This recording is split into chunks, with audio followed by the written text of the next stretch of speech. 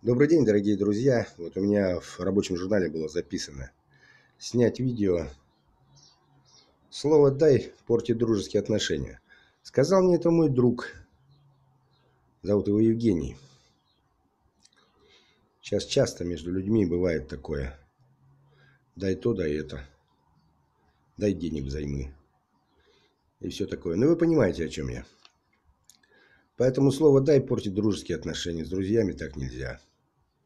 В редких случаях, когда человеку плохо, другое дело. А так, сами понимаете. Дорогие друзья, смотрите мой канал на ютубе, подписывайтесь на мой инстаграм. Всего вам доброго.